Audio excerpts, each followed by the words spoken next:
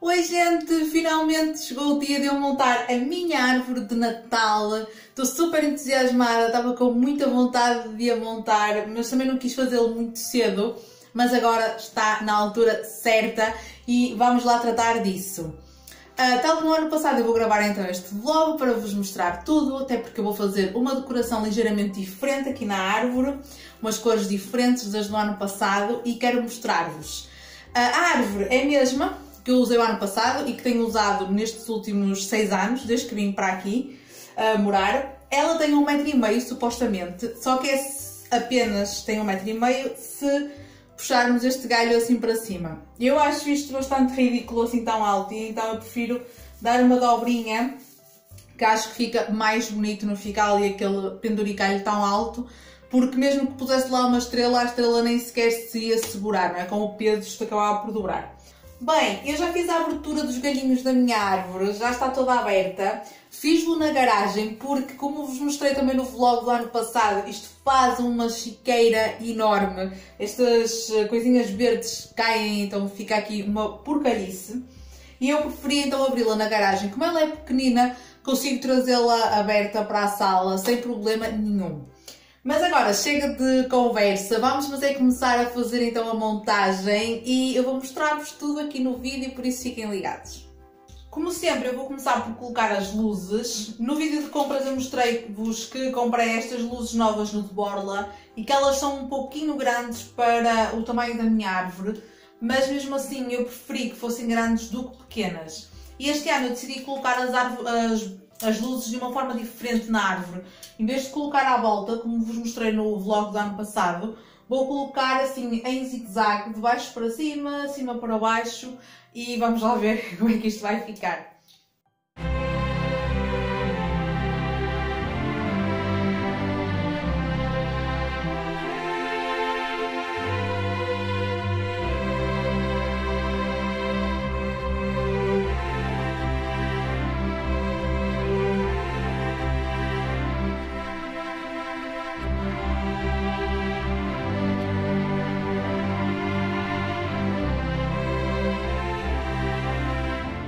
As luzinhas estão colocadas, estão a ver, eu coloquei então assim, de cima para baixo, baixo para cima.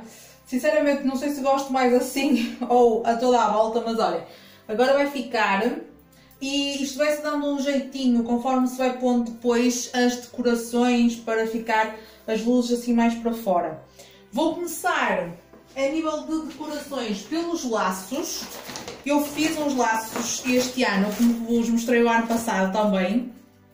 Fiz assim em vermelho e alguns em branco.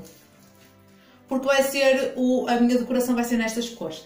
Então eu vou espalhar os lacinhos agora pela árvore e depois é que vamos passar às outras decores.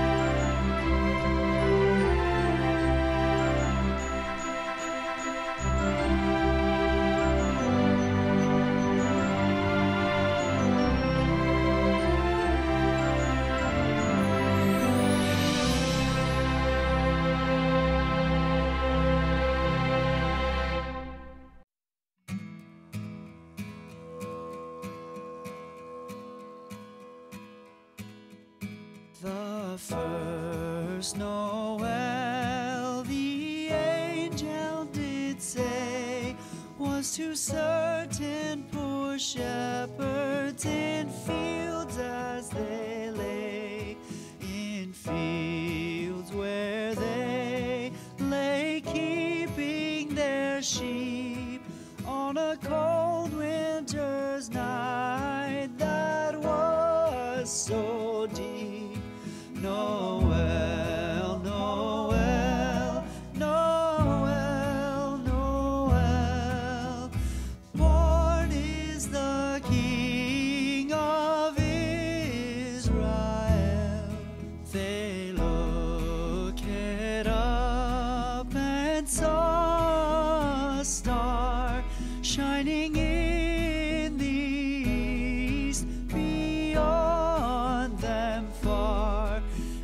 into